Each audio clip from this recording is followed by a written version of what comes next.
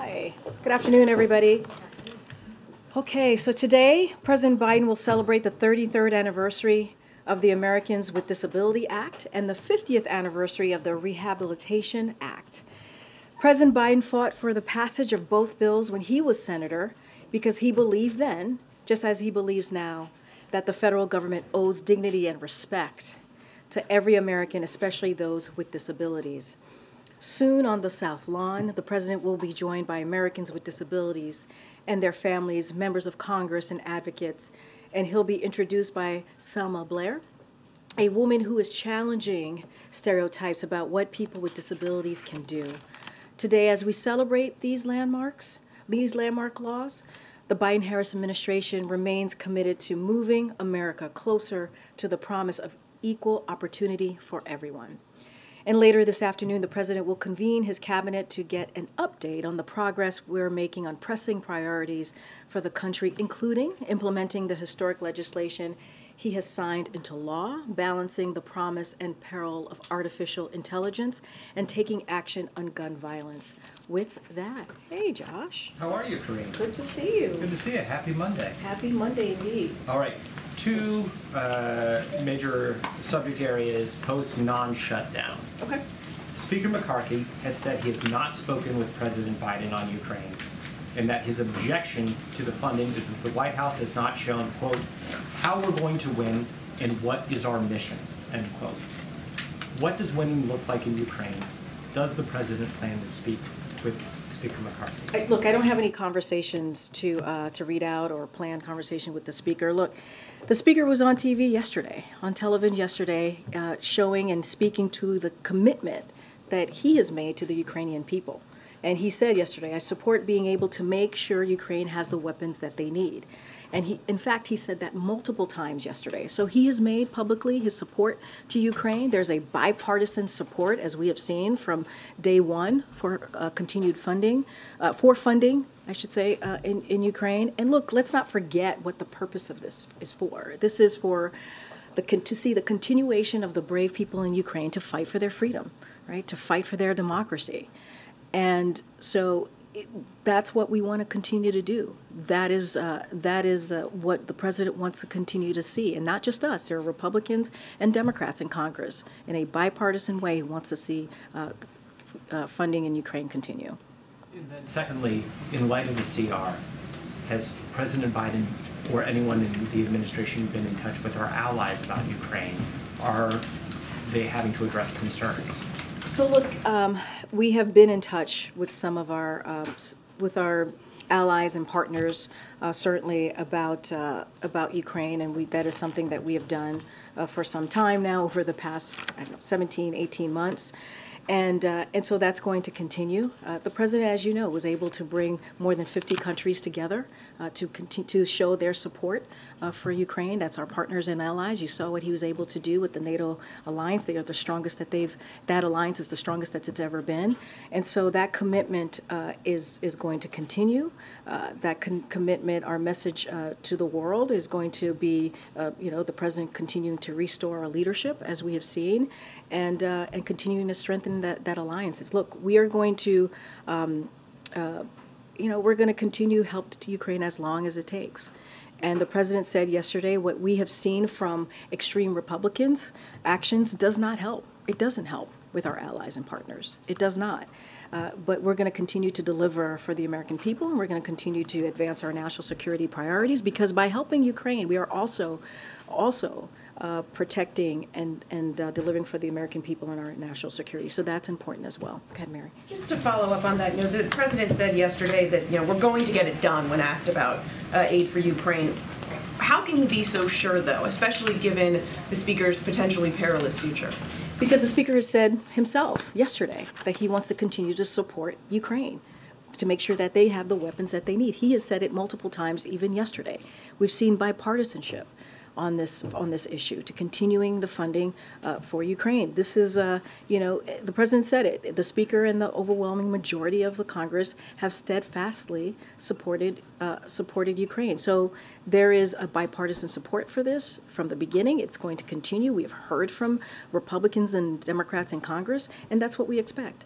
And on the speaker's future, does the president think that Democrats should bail out Kevin McCarthy if it comes to that? Should Democrats help him that? So the president was asked this question yesterday by one of your colleagues, and he said he doesn't have a vote, right? That's something for House Republicans to figure out. What the president's going to continue to do is deliver for the American people. He's, while they are pure, clearly showing chaos and not able to, to do that, deliver for the American people. He's going to focus on growing the economy. He's going to focus on growing the middle class. And as it relates to anybody else, the Democrats, that's their decision to make. That's for uh, that's for Democratic leadership uh, and House Democrats themselves to figure that out. Actually, the president doesn't have a vote here, but surely this is something that the White House is in, is discussing with leadership on the Hill. Absolutely, that is not something uh, we are There's not. no conversation between. That is something, we, we do not get involved when it comes to leadership conversation. That is something for House Democrats, House Republicans in this particular instant to figure out. And can you just clarify one more thing, because we've heard Matt Gaetz and others put a lot of attention on this. The, what, what exactly did the president mean yesterday when he was asked if he could trust the speaker on the next deal, and he said, we just made one about Ukraine. We just heard Matt Gaetz again on the floor insisting there's been some secret deal made between the Well, president I'll, and the I'll leave here. Matt Gaetz to speak for himself and what he, what he meant on whatever he just said right now. I hadn't have a chance to, to listen to, uh, to the congressman because I was getting ready to come out here. Look, I mean, just on trust more broadly, you know, I know we've been asked that question. Look, it's not about trust. It's about Congress doing their basic duty is to keep the government open. That's what this was about. When it relates to uh, what the president said, I'm certainly not going to go beyond what he said. But what we know, what we know is that there's bipartisan support for this deal. Again, Speaker McCarthy was on the air multiple times yesterday saying that he wants to, he certainly wants to continue support uh, for Ukraine to get the weapons that they need.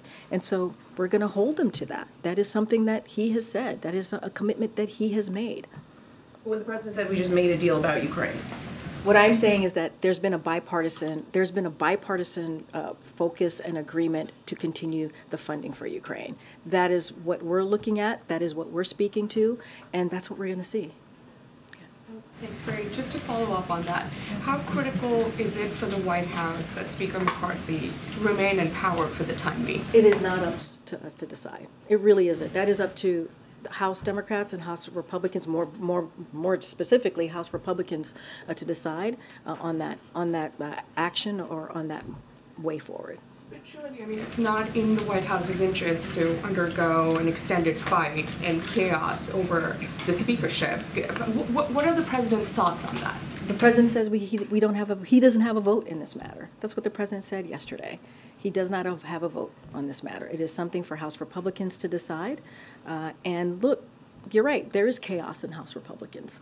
I mean, what we saw this weekend should not have happened. It should not have happened. I mean, thank goodness that the government is open and that we're critical programs are, are now moving forward. But we should have never, they should have never uh, marched us to the brink that they did. And it is their basic, basic, basic duty to keep the government open. And so we're just not going to get involved. That is for uh, House House Republicans to decide. Uh, question on Ukraine funding. Are you able to outline for us how much the U.S. has left in funding for Ukraine, both military and humanitarian, until a new funding bill was approved? So, any specific questions on the funding that is left? I would have to uh, I have to uh, uh, refer you to the Department of Defense. Uh, they'll be they'll be uh, more um, more able to to share what is the presidential draw, drawdown authorities, what's left there. But look, we it, you know it is enough to for us to meet the meet Ukraine's urgent battle battlefield needs for a bit for a bit longer, uh, but we'll remaining we'll, we'll be maintaining our our steady cadence of PDAs for sure. Uh, but it is not the long term solution here. It is not the long term solution. Can you confirm uh, that the president is planning to call allies, uh, that funding for Ukraine will continue? I, I don't have any calls to, to preview for you at this time with allies or partners. Thank you, Karine. Um, Congress was not able to pass the 12 bills to fund the government in the last four months since the president reached the broad spending deal with them on June 2nd. What gives the White House confidence that they'll be able to do that in the next 45 days? Because it's their, again, this is uh, their, their basic, basic, basic duty is to keep the government open. We shouldn't have to wait 45 days. House Republicans should not have to wait 45 days to do their jobs. Uh, and uh, one of the things that Speaker McCarthy learned is, you know, that you have to do your job, right? Which is why I think we moved. He moved forward, uh, and so look, this is something that Congress is their duty to do is to keep the government open, to make sure that federal government employees get paid, to make sure these critical these critical important uh, programs are are continue to be paid paid in so that uh, families across the country, American families across the country, are getting those critical programs. And so this is their basic duty. This is their basic duty. And Government funding now goes through November 17th, which is right around the time that the president is expected to be in San Francisco for APEC. What discussions are happening about what impact that could have on the president's meeting with leaders of, of China and So other countries? I just don't have any, uh, I'm not going to get into hypotheticals from here. Again, they don't have to wait 45 days to get this done. They really don't. Uh, There's no excuse for another crisis. That is what the president said yesterday. And they have to stop the games. They have to stop playing these games. That's, again, what the president said. They have to get to work and stop playing games and do their du- duty. Or else we're going to be in the same place that we were this weekend a month ago, a month from now. And so, uh, and, you know, i- i- what they're doing instead is pursuing these 30% cuts. We're talking about education, we're talking about Meals on Wheels, we're talking about really critical programs that Americans are, are, are need just to move through their day-to-day lives. And so we can't be focusing on that. They need to keep the government open, continuing to do that, their basic, basic duty. Yeah, thanks. One point that Speaker McCarthy made repeatedly on Face the Nation yesterday was that he wants any additional funds for Ukraine tied to uh, congressional action on border security. Is that something that the White House would consider supporting for a vote on Ukraine funding? So look, I think the American people are fed up. They're fed up of the political games, the political stunts that House Republicans are doing on our national security and also our government. You have a president who has delivered record funding, record funding, to make sure that we have additional, record additional uh, Border Patrol federal employees uh, at the border. This is something that he has done and has delivered on. And instead, extreme these extreme House Republicans, what did they do? They just passed two weeks ago a proposed cutting DHS funding by eight percent. They're the ones who are saying that they want to defund DHS. That's what they're saying. Meanwhile, you know, we uh, we're trying to do everything that we can uh, to make sure that we deal with what's going on at the border. As it relates to Ukraine funding, there's bipartisan support. We've heard that from Republicans and Democrats, and we appreciate the bipartisan support that we have, seen for Ukraine. And we, we, we are confident that we're going to continue to see that. And so, look, this is about uh, freedom and democracy uh, against, the, the- against Russia's in- uh, invasion, aggression against the Ukrainian people. And this is also about, about protecting our national security as well. Uh, President Biden planned to go to uh, Senator Feinstein's funeral service on Thursday in California. I don't, I don't have any uh, schedule uh, updates uh, for the president this week to share. Good, Danny. I'll come to the back, Anthony. Thanks, Karine. Um, the Kremlin said this morning that uh, Western fatigue over Ukraine is going to grow uh, in, in the United States and other countries uh, um, after what happened here in Washington this, this weekend. I mean, uh, you know, how do you respond to that? And what can the United States do to prevent that? So here's our message uh, to Putin. He has built, the president has built um, a uh, coalition of more than 50 countries, right? He providing to provide aid uh, to support Ukraine. That is what the president has done. And uh, we have rallied more than 140 countries to condemn Russia's invasion into, into Ukraine. That's what the president has been able to do. There is strong, very strong international coalition behind Ukraine. And if Putin thinks he can outlast us, he's wrong. He's wrong. And so we will have another package of aid for Ukraine soon to signal our continued support for the brave people of Ukraine. And so that's our message. If he thinks he can outlast us, that is Mr. Putin, we believe he's wrong. Karine, following on that, the Financial Times reported Russia has successfully avoided Western sanctions on almost all oil exports by using Chinese yuan to avoid those sanctions. Uh, what confidence do you have that those sanctions, that this is continuing to work? And how can the White House uh, continue the same path using sanctions to try and change Russia's behavior without enlisting China in some way? So look, we have worked with our, we've worked with our allies and partners uh, to immobilize uh, half of Russia's uh, reserves, about $300 billion. Uh, It's cutting Russia off from a key source of its economic resilience. Uh, Last year, uh, rather than its forecasted budget surplus, Russia suffered a, a budget deficit despite record oil and gas revenues. And that's what we saw last year. Now, this year, uh, their fiscal situation has deteriorated even further. Uh, in just six months, the price cap on Russia, Russian oil has contributed to a significant decline in government oil revenue at a key junction in, in the war, down nearly 50% from a year prior. And as of June, the budget deficit for the first half of the year has reached 90% of the projected full year deficit. So we will continue to impose further pressure on Russia going forward, and that's going to be our focus. Following, it came out in the Wall Street Journal that uh, Wang Yi is going to be visiting Washington DC in the near term. Uh, Do you have anything for us on a potential uh, Xi visit? I don't have anything further uh, beyond what the president shared not too long ago about uh, meeting with President Xi. Go ahead, April. Now, Karine, digging in the weeds a little bit about um, talks about um, these appropriations, what is the construct of these meetings that uh, the White House is having with Republicans or Democrats and Republicans are working on these appropriations? So I have said for many, many weeks now that um, as as House Republicans were leading us to the brink of a potential shutdown, that uh, members here of the White House, uh, we had our Office of Legis- Leg- Legislative Affairs, we had uh, the OMB Director, Shalanda Young. She's I think she's spoken to this uh, very recently. Had regular conversations and have been in regular conversations with uh, members in Congress. Uh, don't have anything specific to share. I'm not going to go into private conversations, but we've also been very clear. Like while we have had dialogue uh, with members of Congress, this is something when it comes to keeping the government open, when it comes to, um, you know, moving forward with this deal that the president made with Congress. A deal is a deal, as you've heard us say many times. Uh, it is f- up to them. It is for them. This is their basic, basic job, is to keep the government open. So do you believe that there's a ramp up or is it still the same in efforts to prevent kicking the can down the road again with another CR? But they shouldn't have to. They shouldn't have to wait 45 days, right, to deal with this. House Republicans could get this done. We should not have to wait 45 days.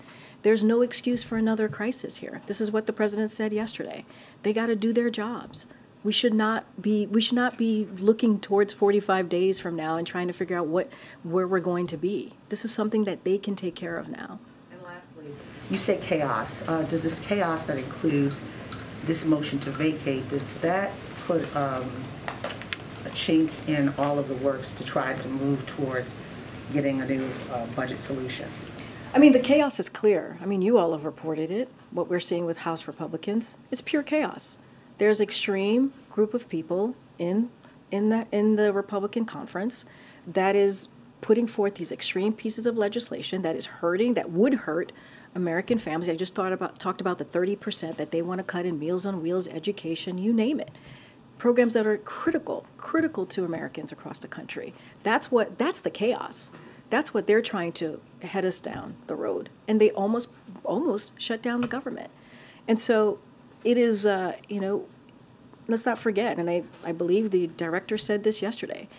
Like 200 Democrats, more than 200 Democrats voted uh, to keep the government open. So we know where House Democrats are, right? We know that they want to do their jobs it's the chaos that we're seeing from House uh, from House Republicans that led us to this crisis, and we don't need this. So the motion to vacate has nothing. The motion to vacate has nothing to do with us. That is absolutely nothing to do with us. That is something for House Republicans to figure out, and we're going to let the leadership figure that piece out. Go ahead. Thank you. Um, The White House has been clear, of course, that you don't want to negotiate further on further cuts after the deal in May.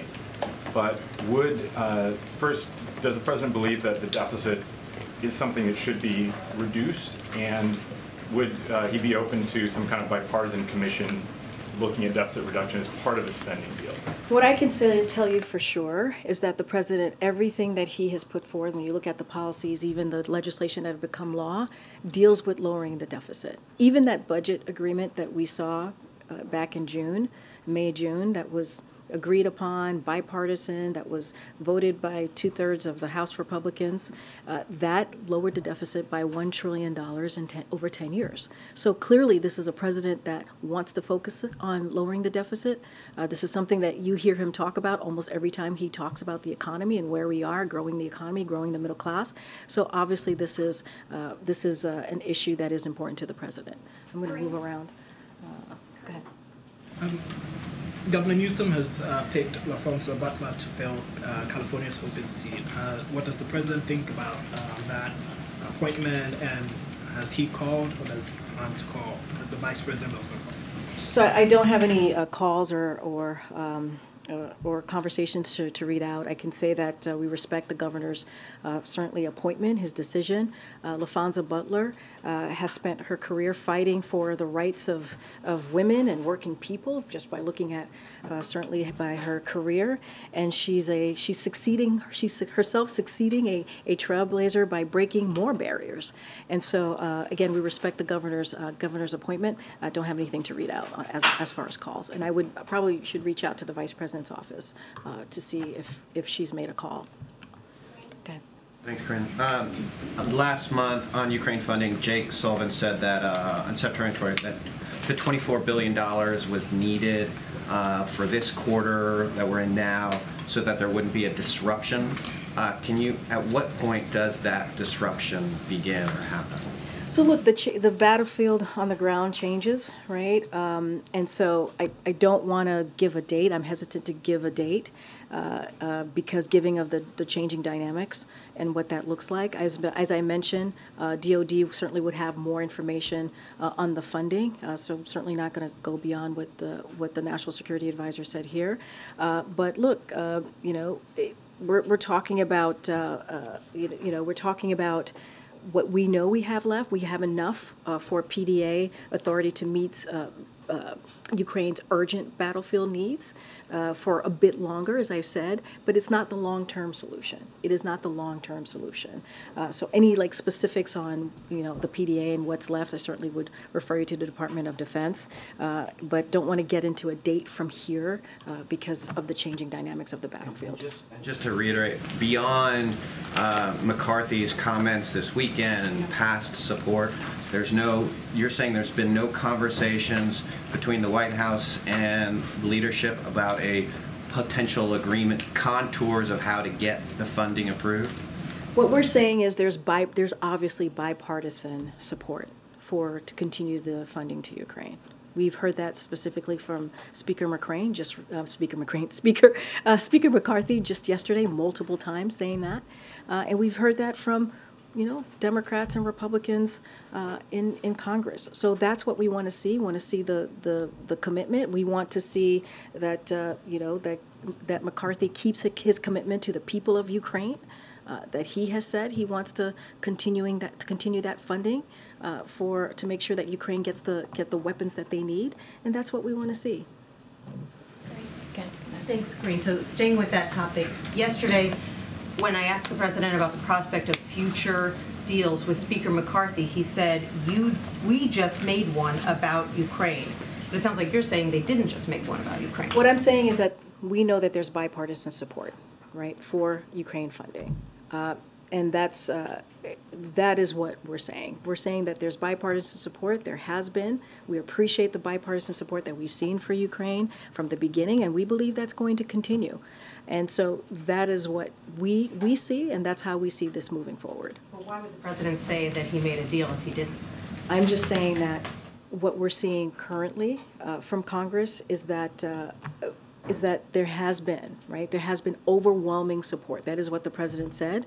A majority of Congress showing overwhelming support uh, to have to, to continue that support for Ukra- Ukraine, and that's what we're going to continue to. That's what we want to continue to see. Did the speaker provide some kind of back channel assurance that he would bring Ukraine funding think up for a vote? Is that what he was referring well, to? No, I don't even think the speaker needs to do back channel. He said, he himself said yesterday that I support being able to make sure Ukraine has the weapons that they need. He said that. He is, and we expect him to uh, to keep his word on that. But then I guess I'm just trying to understand what the president meant when he said I'm- we just made a well, deal.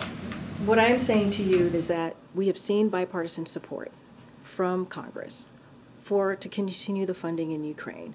That's what we expect, and that's what we want to continue to see. We've seen, uh, we've heard from Speaker McCarthy himself just yesterday saying that he wants to continue that support, and that's what we want to see moving forward. Is it possible the president made a deal that you don't I'm know just, about? I'm just saying that I'm not going to go beyond what the president said. Just not going to go what he beyond. said true? I'm not going to go beyond what the president So said. you won't say that it- what he said was true? I'm not going to go beyond what the president said. You're said. declining to say that what he said was true. I just answered. Go ahead. Yep. Thank you. Uh, Governor Newsom vetoed legislation in California this weekend that would have allowed workers to collect unemployment pay while on strike. Does President Biden support unemployment pay for striking workers? What I can say is that uh, the president certainly supports, um, you know, collective bargaining. He supports that uh, workers should be able to ask for fair pay and fair benefits. Uh, that is something that he supports. He, he supports certainly the right to strike. Uh, I'm not going to get into the particulars of uh, this of what uh, Governor Newsom uh, signed. Uh, but what I can say is the president is always supporting union union workers and uh, certainly uh, working people. The UAW strike is now in its third week. Is there any concern that the president's appearance on the picket line may have frustrated auto companies and prolonged discussions? What I can say is that the president uh, did something that was historic, right? He went to an active picket line to show his solidarity for uh, union workers, for the men and women of UAW, and he was proud to do that. Uh, that doesn't change what the president has said many times. Again, supporting collective bargaining, allowing the negotiations to continue with all parties, and making sure that uh, they have they have the ability and the right to ask for fair pay and fair wage. And so that's what we believe. We think that uh, it's good that they're continuing to have these negotiations and continue to have the conversations. And let's not forget, you have the West Coast Port, right? You have the uh, um, uh, you have the the Teamsters, right, and UPS. Collective bargaining works. So we're going to let this process move forward. Go ahead, go ahead, Anita. Anita. Thank you so much. I have a Ukraine question and then a question about the refugee cap. Uh, just starting with Ukraine, Slovakia's elected a new leader who says they will not send one more bullet to Ukraine. They say that they have bigger problems in Ukraine. How does the White House see this splintering of NATO unity, and what is the administration going to do to bring NATO back together?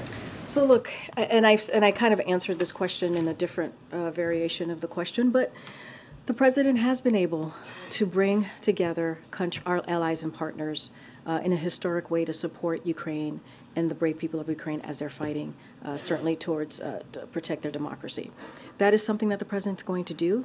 NATO alliance, it's the strongest that it's ever been because of what this president's leadership has been. We're going to continue to certainly uh, have those conversations with our partners and allies. Uh, but look, and I said this earlier, it does not help it does not help what we see House Republicans doing. It doesn't. And that's just the reality of it. Uh, but we're going to uh, continue to bring our partners and allies together as we support the people of Ukraine as they're fighting Russia's, uh, Russia's unjust uh, aggression. Okay, um, on the refugee cap, which was announced on Friday, the administration says set the cap yet again at 125,000 people. But the State Department says that only 51,231 refugees were admitted up to up to this point. So, number one, is this um, number including Afghans who are given humanitarian paroles? How does the administration plan to reach this target of 125,000, and what else is needed to get you to that that aspiration? So one of the things, as you know, that we've tried to do is we've tried to improve certainly the system. Um, I don't have specific numbers on um, on Afghans, but you know, one of the things that we do, we implemented a number of efficiencies within state and DHS to reduce processing times. Uh, state has also approved 51 new local offices. So we have taken steps, and that's just a couple of things uh, to make sure that we're improving uh, the system. And so we're going to continue, certainly continue to do that. Uh, and so, look, we said when we first set this target that it was going to be ambitious. We knew that. We knew that 125,000 uh, is an ambitious number, and within uh, within the progress we've made, we feel that we are we are better positioned to meet those goals uh, this upcoming fiscal year, and so that's what we're going to try to do. We'll continue to go around. Go ahead, uh, Brian. Great. I wanted to ask about the president's legislative priorities. I mean, given that what House Republicans are doing right now, um, continue to threaten to shut down the government in 45 days and hold up Ukraine funding, Is that it for what the president can do legislatively for the foreseeable future, or are there other legislative priorities where he thinks there might be a coalition with House Republicans? I mean, look, the president, you saw what his priorities were in the budget negotiations, right? We also, we also wanted to make sure we were protecting Medicare, protecting Social Security, right? Those were things that were incredibly important to the American people. Yes, Ukraine funding is also really important as well, which is why we're, we are uh, we are confident that we'll continue to see this bipartisan support for the uh, Ukraine funding. And so, look, you're going to see the president meet with his cabinet in a couple of hours. We're going to talk about the importance of implementing the historic pieces of legislation that he's been able to pass. Uh, and when you think about the Inflation Reduction Act, when you think about how that's going to lower uh, healthcare costs and what that's doing, right? The capping 35% uh, for uh, uh, seniors um, uh, when it comes to insulin. That's really important. When you think about beating big pharma and the first 10 uh, uh, tranches, uh, the, the first 10 tranche of, of uh, pharmaceutical drugs. That's the, where the cost is going to go down. All these things are incredibly important. We, we have to implement, continue to implement uh, these important pieces of uh, legislation that's currently now law, and that's going to be the president's focus. And also protecting Americans, right? Protecting Americans, making sure we're keeping Social Security, Medicare, Medicaid. And so um, that's going to be the focus. You've heard us talk about the unity agenda and how important that is. Those are ways, if you want to see what the president believes he can move forward, how he can move forward with, uh, with a, in a bipartisan way with Congress, look at the unity agenda. Uh, and so that's going to continue. He's going to continue to try to move with that as well. Uh, thank you. Uh, two questions on the border, if I can. New York Governor Kathy Hochul says the border is too open right now. Does the president think that the border is too open?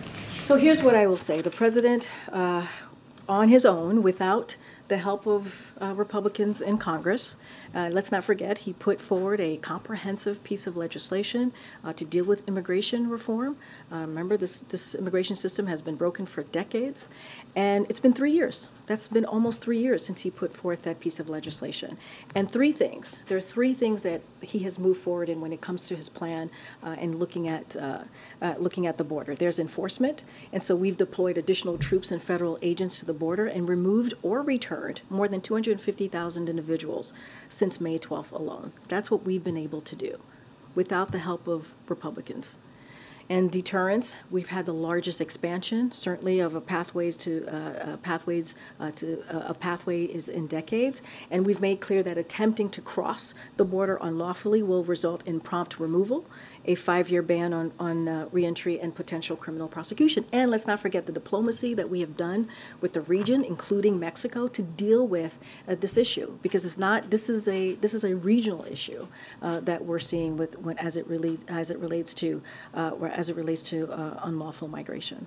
So when the president looks at what's happening at the border, he sees a border that is effectively closed. What I'm saying is that the president, without the help, without the help of Republicans, is doing everything that he can to deal with the border. That's what he's been able to do. While Republicans try to push forth a CR to limit, to take away uh, the federal the federal agents that we see at the border. That's what he's trying to do. They're trying to politicize it and make it worse make it worse. That's what Republicans are trying to do and make turn it into a political stunt. The president is actually dealing with the issue that's in front of him by getting record funding, 25,000 federal agents at the border. That is something that this president has been able to do. I'm going to move around. Okay, Karen. A couple on COVID. Um, does the administration have any regrets about the rollout of this new COVID vaccine, given the reports of insurance snags and some supply issues with getting this vaccine out? So, look, this is something that we're certainly aware of and want to make sure that the system works for everybody. And that is something that you can just look at what we've done the last 10, the last three years on this issue, right? Making sure that uh, we make sure that people, that every American across the country who wants a vaccine will get it. So uh, certainly we are aware of what consumers have experienced, these unexpected issues of, of, of point of service. And so HHS is going to work with insurance, they're going to work with, uh, work, at the issues that we're currently seeing uh, to resolve this quickly. And so this is certainly a top priority for this administration as it relates to a comprehensive vaccination program. This has been a priority since day one of this administration. Are you worried that if people are frustrated not not being able to get their shots now, they might give up, and that could lead to a worsening situation in the fall and winter. And then just to follow up on the president's involvement in So, messaging. look, I'm not going to get too much into like the hypotheticals here. We're going to quickly, HHS is, is dealing with this issue. Certainly, we're aware of it, and we're going to quickly address it. They're going to quickly address it.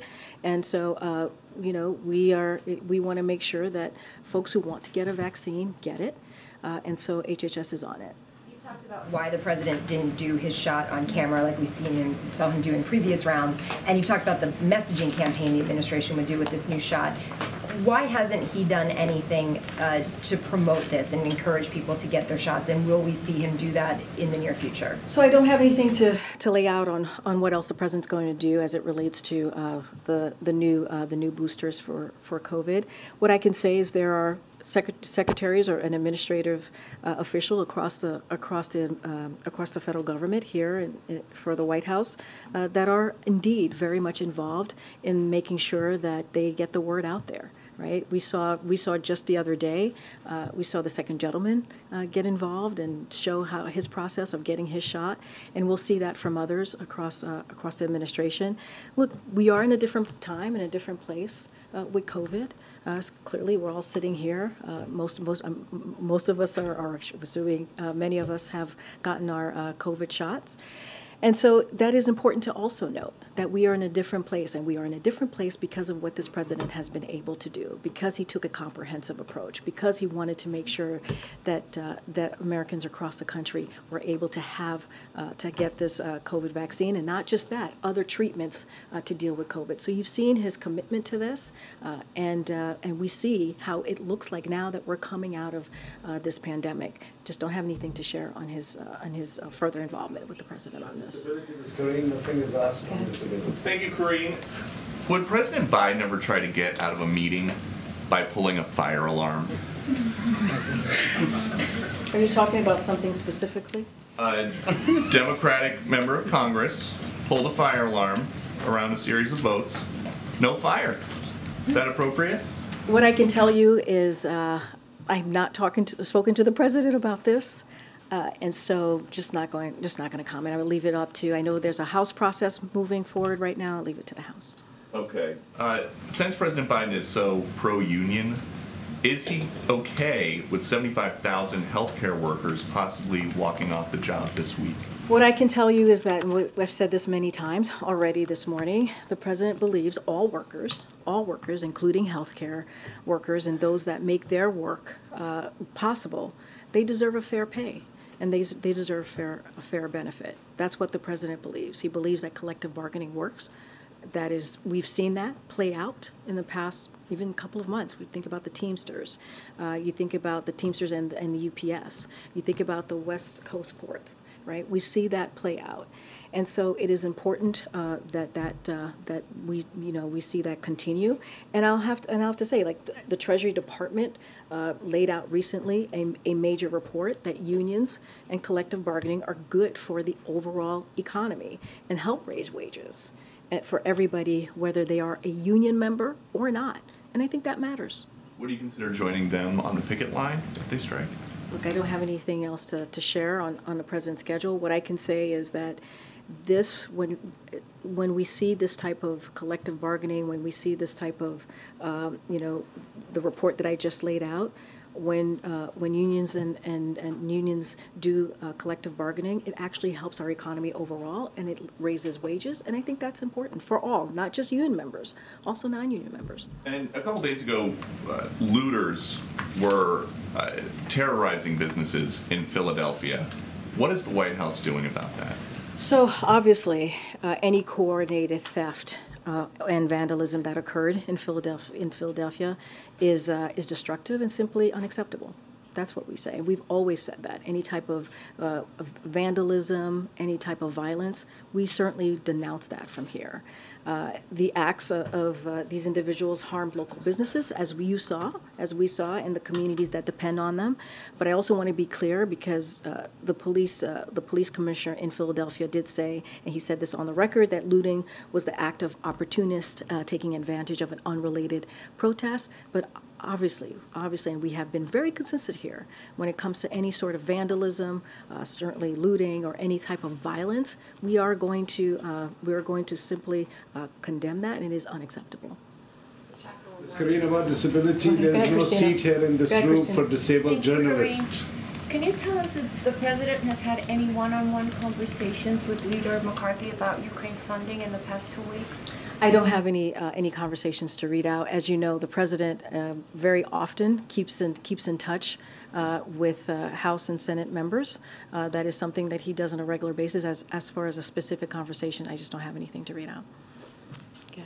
So it's possible the president and the speaker spoke. I just don't have anything to confirm. I, I really don't. I, as I said, the speaker, uh, the speaker, the president uh, regularly has conversations with uh, members of Congress. Uh, I don't have any specific conversation to read Can out. Can we make a request that between now and the next briefing, perhaps we could discern, ask the president what deal he was referring to in his comments yesterday so we can have a better idea? Because I think this will continue to have oxygen around it until we have clarity about, is this a new deal? Is he referring to the budget top line? I appreciate, I appreciate, uh, I appreciate the, the question. Um, What I can say for sure is that what we believe as it relates to Ukraine is that there has been, continues to, continues to be bipartisan support from Republicans and Democrats in Congress. Whether there is a deal. I, I hear you. I hear what you're saying. I'm just saying, speaking to this particular uh, kind of issue, broader issue, right? We believe that there is, continues to be bipartisan support. We think that's incredibly important. Speaker McCarthy has spoken to this, uh, and, uh, and that's what we want to see. We want to see continued support for the people of Ukraine as they bravely fight against Russia's aggression. On another matter, the president's son will be going to a court appearance tomorrow. We know previously that was believed to have been something that would resolve the case. A lot has transpired in between. Will this have any impact on the president's schedule tomorrow or how he will be uh, getting information about that? Uh, I recognize it's a personal matter, but will that court appearance have any impact on the president's schedule? I will say it's a, continue to say it's a personal matter. Just not going to get into it from here. Thanks, everybody. no Thanks, everyone. for a See you tomorrow, handicapped Karine. journalist. Thank you, President.